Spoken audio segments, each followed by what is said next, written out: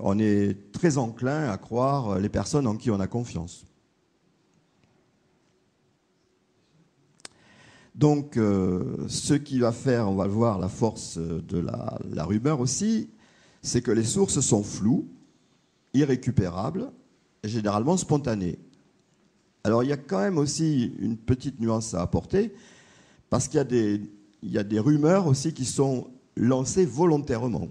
Hein, sur le plan politique, par exemple, hein, on peut parfois essayer d'allumer des contre-feux ou des diversions, comme vous disiez tout à l'heure. Hein. On peut faire des manipulations et même on, se sert aujourd'hui des rumeurs, euh, notamment dans les milieux scolaires, pour harceler, euh, pour faire du harcèlement. Donc euh, mais ce qu'on entend par rumeur, en général, c'est spontané. Il n'y a pas une volonté derrière. C'est quelque chose qui naît comme ça, un peu du hasard, enfin sans, trop de hasard quand même. Alors, qu'est-ce qui explique la rumeur? Eh bien, euh, ce sont des interprétations. Et, finalement, dans notre tête, toutes nos représentations ne sont que des interprétations, encore une fois. Il n'y a rien de vrai. Hein. il, faut, perdre ça de, l'idée. C'est euh, des déformations aussi euh, de faits par exagération. À un moment donné, dans un pensionnat, il y a eu une rumeur comme quoi un enseignant euh, profitait de, ses étudiantes. en fait, la base de la rumeur, c'est qu'il y avait une jeune fille qui avait rêvé qu'elle faisait l'amour avec son prof. Elle a dit à ses copines, et ses copines ont comporté donc le rêve, mais sans dire que c'était un rêve. Et c'est devenu une réalité.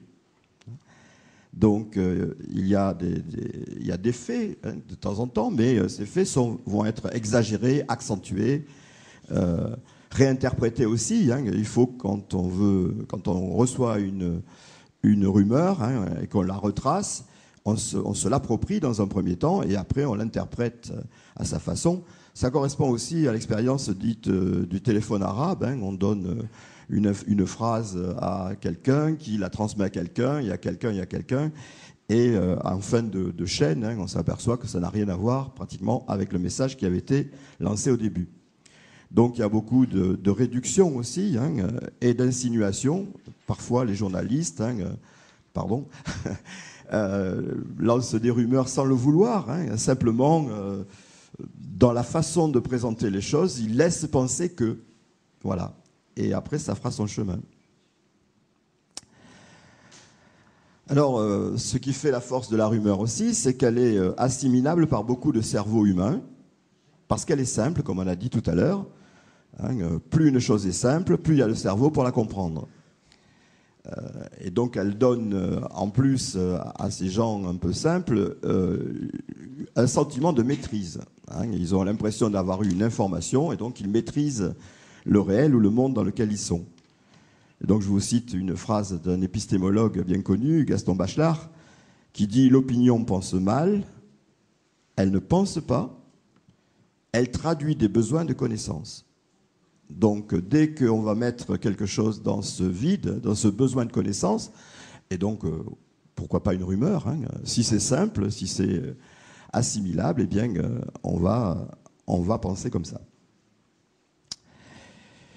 Et donc le, pouvoir de la rumeur est basé aussi, euh, comme l'énonce Gerhard Friedberg, Gerhard Friedberg c'est un sociologue des organisations, dans les zones d'incertitude. Quand on veut avoir le pouvoir, il faut, il faut être flou, il faut être fou à la limite, il faut être euh, imprévisible.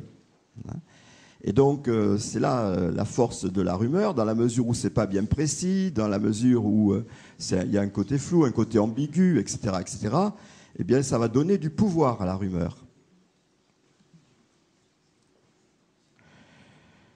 Donc, ce qui fait que la rumeur est aussi acceptée, eh c'est qu'elle est rare, exceptionnelle.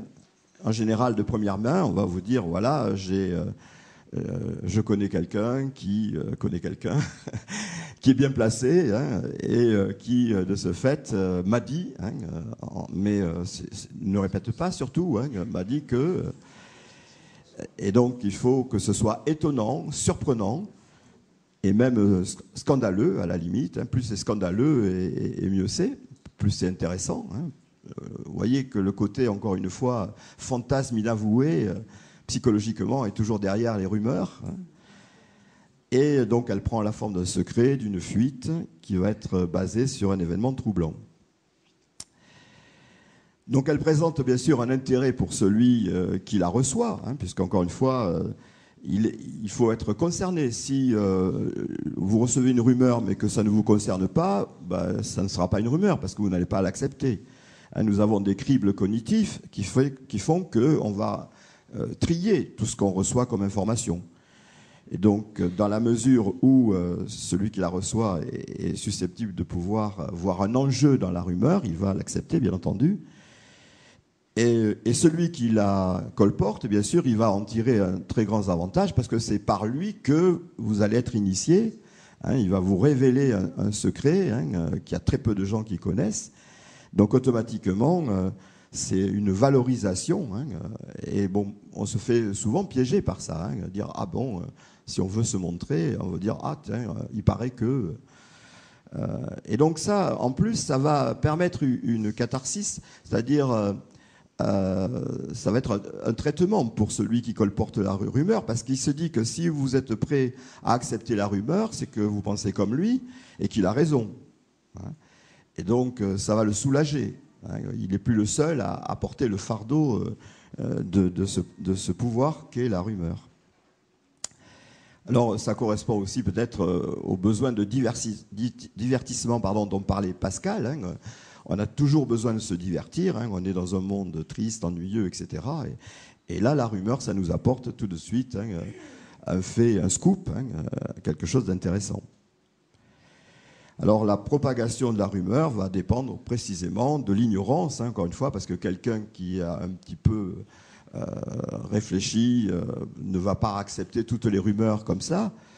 Euh, mais euh, on s'est aperçu quand même que certains intellectuels étaient prêts à, accepter les rumeurs parce que justement, comme je suis en train de vous le faire, hein, de vous le dire, il y a le monde réel, il y a le monde de la représentation, on sait qu'il y a de l'illusion, donc euh, une illusion, pourquoi pas une autre illusion hein, euh, Le monde de l'illusion existe pour l'intellectuel. Et donc parfois, ils sont très crédules. Et puis, il faut comprendre aussi que nous, comme je le disais tout à l'heure, nous avons des cribles cognitifs, c'est-à-dire que nous filtrons euh, tout ce qui rentre. Et, donc, nos comportements sont aussi dépendants de ce que l'on sait, de ce que l'on ignore. Mais par définition, on ignore ce que l'on ignore. Et donc, on ne comprend pas hein, que ça, joue sur l'acceptation de la rumeur. Donc, ça repose sur les peurs, les angoisses, les désirs, on, l'a déjà dit. Hein. Alors elles sont fréquentes dans, euh, dans beaucoup de milieux, et en particulier euh, dans le milieu judiciaire. Hein, euh, l'affaire Bénard, l'affaire Doutreau, etc. dans le monde des célébrités aussi, hein, parce que tout le monde voudrait avoir une relation intime avec la star hein, et avoir une information, encore une fois, sur la star, ben, quelque part, ça le ramène à son niveau. C'est vrai aussi dans le monde professionnel. Hein, dans l'entreprise, par exemple, si euh, la direction ne donne pas beaucoup d'informations sur la vie de l'entreprise, eh bien, euh, bah, des rumeurs vont naître. Hein. Oui, oui. je, vais, je, vais aller plus vite. Euh, dans le milieu commercial et financier. Oui, parce que ce n'est pas tellement ça qui m'intéressait le plus. Donc les thèmes, c'est le pouvoir, la politique, l'argent, la violence, le commerce, l'économie, le sexe, les catastrophes, le progrès technique et les nouvelles technologies, l'évolution des mœurs. Une partie de la rumeur d'Orléans s'explique par le fait que c'était l'époque des mini-jupes et que les mamans n'avaient pas envie de voir leurs filles leur échapper, hein, et donc il fallait leur faire peur, et donc elles se sont saisies de la rumeur. La nourriture, la santé, bref, allez, tout ce qui touche à la mort. Hein. La rumeur, elle a toujours euh, comme base la mort.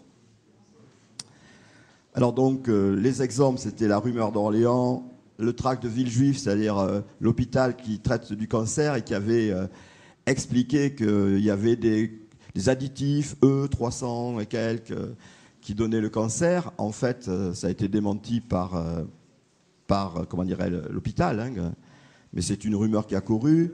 Il y a celle de Procter Gamble, comme quoi il finançait la secte Moon. La rumeur d'Abbeville, c'est le fait que la Somme avait été inondée et c'était les Parisiens qui, pour ne pas être eux inondés, ils avaient déversé tout sur la Somme. Après donc l'affaire d'Outreau, les massacres de Timisoara, alors là aussi c'était euh, une rumeur qui est, venue de la presse. Hein. C'est la presse qui, euh, qui nous avait parlé de massacres en, Roumanie, rappelez-vous. Et un peu plus tard, un mois après, ils sont venus tout penauds quand même nous dire qu'ils s'étaient trompés, qu'on les avait. Euh, bon, il y a aussi sur Michael Jackson, et puis la fameuse rumeur aussi euh, qu'on trouve dans les lycées sur la copie de philo sur le risque. Hein, euh, qu'est-ce que le risque C'est ça. Et puis on rend la copie. Euh, bien entendu, on voit un peu le principe de la rumeur, c'est de, renverser la situation. Un étudiant qui, n'a pas étudié, quand il est confronté à un sujet difficile, eh ben, il se dit que s'il pouvait y avoir un, rituel magique, comme je vais dire un peu plus loin, eh bien, ça serait une bonne solution. Donc, euh, on peut réussir sans avoir étudié le cours. Il suffit d'avoir un peu d'intelligence et puis de dire c'est ça. Alors, il y, a, des multiples variantes parce que justement, les, rumeurs aussi, hein, euh, elles évoluent dans le temps. Alors, justement, les, médias ont euh, deux attitudes un peu contradictoires. Parfois, ils répandent la rumeur et parfois, ils, combattent la rumeur aussi. Donc, en fait, euh, il est difficile de contrôler, de faire cesser une rumeur, car comme on l'a dit, plus on essaye de, combattre la rumeur, et plus ça éveille le soupçon. Dans la rumeur d'Orléans, comment se fait-il que la police n'ait pas, réagi, etc., ou les autorités Eh bien, c'est parce que les Juifs avaient acheté aussi la police, hein, et donc automatiquement, vous voyez. Euh, alors, il faut quand même euh, démentir la rumeur, sinon elle continue à courir. Voilà. Et puis de toute façon, il y a toujours une rumeur qui la remplacera et qui la fera disparaître. Alors donc, on a vu que Internet était un outil puissant aussi. Et donc là, je vous ai mis, euh, et vous le retrouverez sur le site, des sites justement qui euh, cherchent à euh, détecter les rumeurs qui courent sur le net. Hein. Rumeurs du net, etc. Alors voilà, ce que je voulais dire, hein, c'est essentiellement ça. Finalement, la grande question qui se pose, c'est celle qu'avait posée Leibniz en 1740. Pourquoi y a-t-il quelque chose plutôt que rien?